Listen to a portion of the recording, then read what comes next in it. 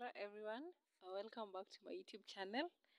I am still Praxidis and uh, yeah, today I'm feeling very great. Yeah, super great. So, uh, actually today I'm going to show you uh, how I'm going to wear different capes and you tell me which one is your favorite. So let's start. First, this one, uh, as you can see, it's a it's a basket. It's a basket. It's called a basket. But if you have another name, you can just comment.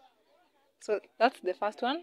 Then the second one, I call this one be a vintage cape.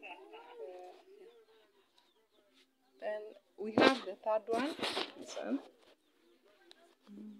I know most of you know this one.